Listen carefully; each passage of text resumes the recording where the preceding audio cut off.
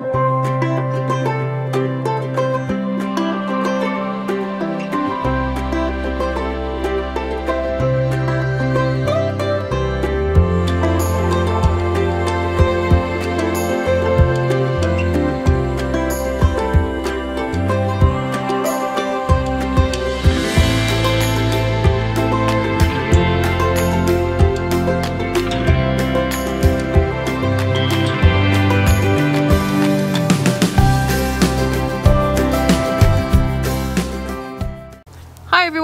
it's Maxine here from Northumberland Zoo And Sarah? and today we're going to be teaching you guys about habitats and adaptations. Yeah, so what we'd like you to think about by the end of this video is you'll understand what a habitat is and how our animals are adapted to suit them. We're going to be focusing on a few different species. We're going to be looking at the raccoons and the meerkats and we'll have a special bonus content at the end about snow leopards as well.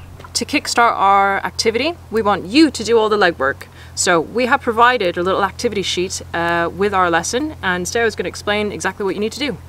Yeah, so what we would like you to do is think about a raccoon habitat. Think about what does it need to have, what does it need to include. When you've drawn your picture, you can put little notes around the side of it as well, and we'll see you in a moment.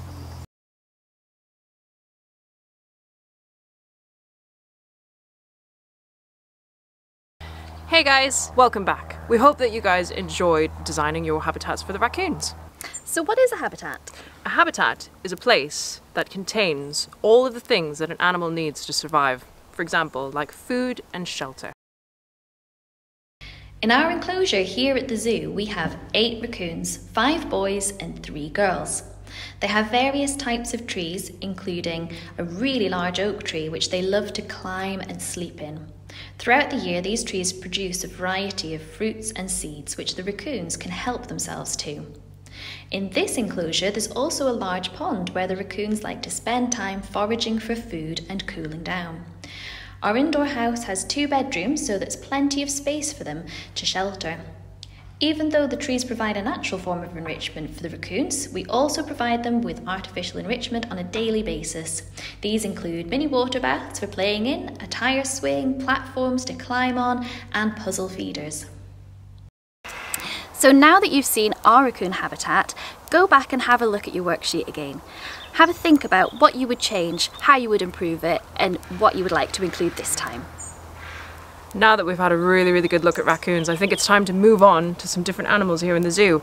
We're going to show you two different animals from two different extreme habitats.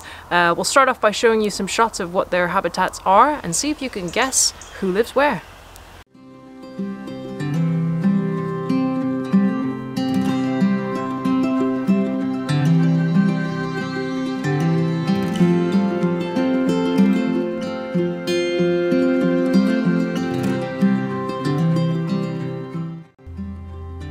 First species, take a look at these different shots and have a guess who you think might live in this habitat. If you guess meerkat, then you are correct. Meerkats are from southern Africa, from the Kalahari Desert. It is very hot in the daytime and below freezing at nighttime, so the meerkats have adapted in order to suit the extreme temperatures. Like raccoons, they have black patches around their eyes which act like sunglasses to prevent the sun burning their eyes. Meerkats have really long front claws, which are perfect for digging. They dig massive complex burrows that can house up to 50 meerkats. At night time, they sleep on top of each other to conserve heat in their burrow. Meerkats are a diurnal species, which means that they are only active during the day. So, first thing in the morning, when it's really cool, they need to absorb as much heat as possible from the sun, and they do this by having black skin and sunbathing first thing in the morning. This way, they absorb loads of heat and get warmed up really quickly. Meerkats have also developed a complex defense system which involves sentry duty. This is where they sit at a high vantage point so that they can spot predators and threats from a distance. They then give out an alarm call which tells the rest of the mob to bolt into the burrow for safety. Their sandy colour helps them to blend in with their dry, arid environment. They have long tails with black tips which they use as visual beacons to help spot each other. These tails are also useful to help them balance. They are omnivores. They have very strong, sharp teeth, perfect for biting through scorpions and other hard insects. Here at the zoo, our enclosure has got a deep, sandy base, so that they can dig their burrows. They also have a heated indoor area so that they can go and get warm if the British weather is not to their liking.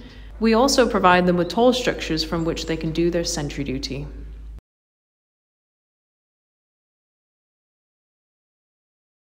For our next part of the Habitats and Adaptations lessons, uh, I am down here at our brand new snow leopard exhibit. Now, a lot of you might not have been able to have seen this exhibit yet because it was literally brand new at the beginning of December and the girls moved in uh, very, very early days in December. So they've literally only been here for like six weeks.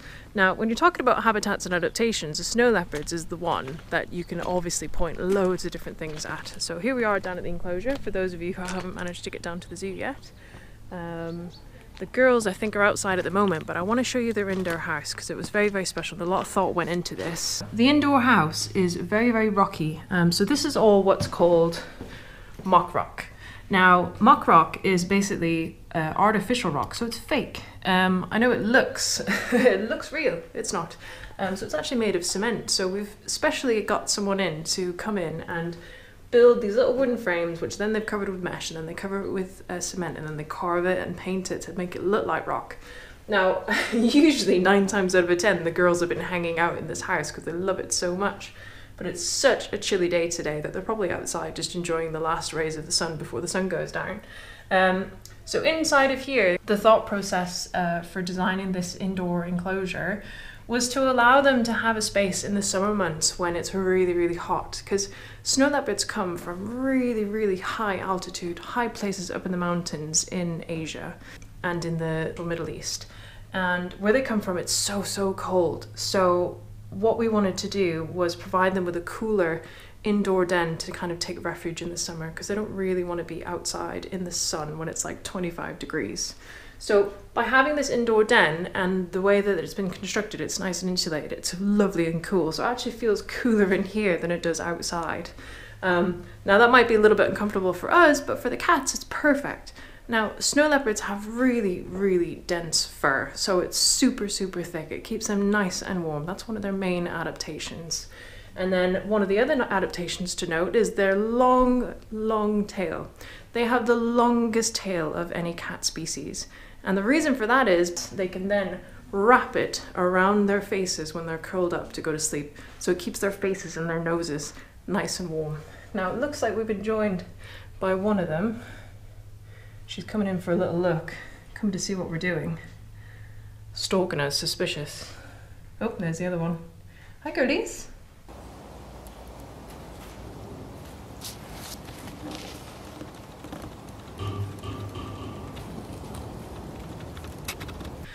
One of the other adaptations that you'll notice, which is extremely striking of a snow leopard, is obviously its markings. Have a little look at Neva's tail and have a look at her back. She's got these lovely little black rosettes on her fur, and that helps with camouflage. Um, so basically, oh, she's doing a little pose for us. Basically, that really breaks up their shape in their habitat. And that's a really good thing because that basically means that their food source, their prey source, won't necessarily see them coming. And the other really cool thing that she's showing us right now are these white tufts on the back of her ears. Now that's really cool because it almost looks like eyes. It's quite striking. So if there's ever anybody behind her looking to look uh, to kind of spook her or jump on her, um, those little white tufts can be quite confusing to someone who's looking at her. So it will make them think twice before they kind of pounce on her. Now, the other really notable feature about a snow leopard is how wide their muzzle is. She's really showing off for us here. Hello, how you doing? The nasal cavity on a snow leopard is really, really wide. And the reason for that is that they have this kind of a larger capacity in their face that when they breathe the cold air in, it's kind of got a bit of a heater in it and it heats the air before it gets to the lungs. So basically, they're not bringing in freezing cold air and putting it straight into their body and chilling themselves. So it goes into the nose, gets warmed up, and then goes into the lungs where it's already preheated. So that's a really, really good adaptation. Now she's doing a really nice job for us. So now she's got her paws out. She's got huge, big, wide paws. I mean, they're massive. And when she stretches them out, they're even bigger. Um, and that's perfect. That's a perfect adaptation because what that does is that it makes the paws really wide so that she can stand on top of the snow rather than sink into the snow. If you imagine that you have a really pointy foot, it'll just go stab straight into the snow Whereas if you've got a nice big wide one, it spreads the weight of the cat out on top of the snow so they don't sink. So that's another really good adaptation. Looking at the ears again, she's got very dinky ears, so they don't stick up far from her body. That means that she won't lose as much heat, so she'll retain a lot of her heat. Um, if she had really big floppy ears, like an elephant, she'd lose all of her heat really, really quickly. Now, talking about the tail again, obviously her tail's kind of bent round and kind of on the ground there. That is long enough to reach up and go all the way around her head, but it's also really, really beneficial for jumping and maneuvering and balance. If you imagine they're trying to chase their prey, which is like mountain goats and mountain sheep and things like that, they're trying to chase them around the mountains and around the rocks. They need really good balance. So that tail kind of whacks about and keeps them on the level so that they don't fall over and they don't fall down the mountain. Now, as we can see, the other girly is at the top there, taking her position. Like I said before, cats love to have that kind of position way up high where they're overlooking their domain. They don't like feeling like they're being looked down on. They feel much more confident if they're up a height, hence why we put them in this indoor den.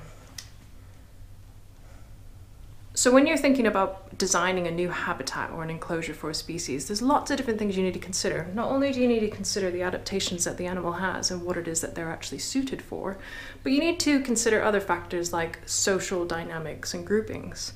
Now, naturally in the wild, snow leopards are solitary. Now, solitary means that they live on their own.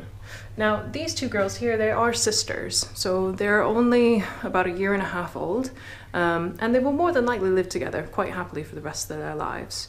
But just in case they don't, we have designed their habitat so that we can split them. So if they decide that one day that they don't really like each other anymore and they like their own space, we can actually give them both indoor access and also outdoor access so they can each have their own paddock and they can each have their own indoor house. Um, and that just makes it comfortable for them living long term. So all of these things need to take precedent when planning their enclosures. There she goes. She's had enough of the education. But you can see how long her tail is. It's stunning, isn't it? Another really interesting fact about these, I mean, it's not really an adaptation or anything like that, but these are the only big cats that can't roar. They can kind of growl and kind of grunt at you, but they can't roar. So really, really weird. Now, I don't know if she's going to jump for us there, but quite comfortably, she could, if she wanted to, jump from where she stood there all the way over to that rock over there. So these guys can clear about a four meter gap. That's like 16 feet. That's really, really long. And again, that's really beneficial from where they come from because if they're chasing their um, their prey, either the mountain goat or the mountain sheep through the mountains, you know, sometimes there's big crevices and stuff they need to jump over. So they need to be able to make that jump. And they have these huge, big, long back legs to help catapult them across the gaps. So everything about a snow leopard is perfectly designed for where they live and we've done our best to provide them with the best artificial habitat that we can.